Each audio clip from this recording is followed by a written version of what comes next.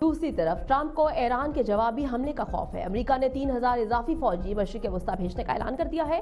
نئے فوجی دستوں کو کویت میں تعینات کیا جائے گا۔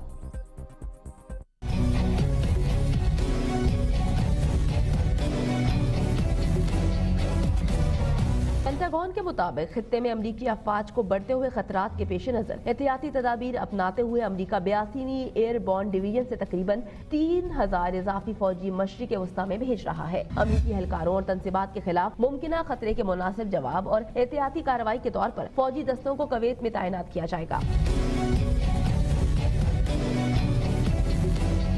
اعلامیہ کے مطابق نئے اضافی فوجی دستے پہلے سے موجود تقریباً سات سو پچاس امریکی فوجیوں میں شامل ہوں گے، جو رواں ہفتے کے شروع میں کویت بھیجے گئے تھے۔ امریکہ گزشتہ سال مئی سے مشرق وسطی میں پہلے ہی تقریباً چودہ ہزار اضافی فوجی روانہ کر چکا ہے۔